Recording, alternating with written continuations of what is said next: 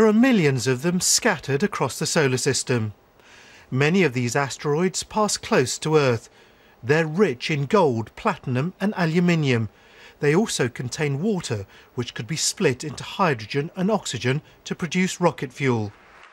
At a news conference, a group of entrepreneurs in the US launched a company to mine these asteroids. It's a plan that's backed by film director James Cameron, as well as the head of Google, Larry Page. Today, I am very proud, along with my colleagues here on stage, to be announcing Planetary Resources.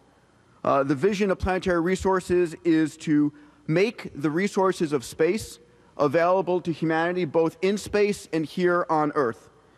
The plan is to send robotic probes to collect and bring back samples to Earth. But similar missions already underway by government space agencies have cost hundreds of millions of pounds.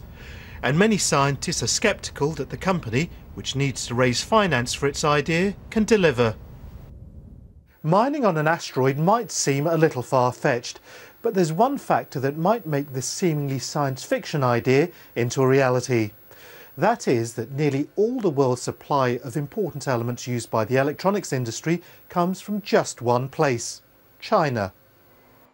The US in particular feels uncomfortable that China controls such a strategically important resource. Asteroid mining will be expensive, but with the Earth's resources dwindling, Backers of the plan say that they have to try. Pallab Ghosh, BBC News.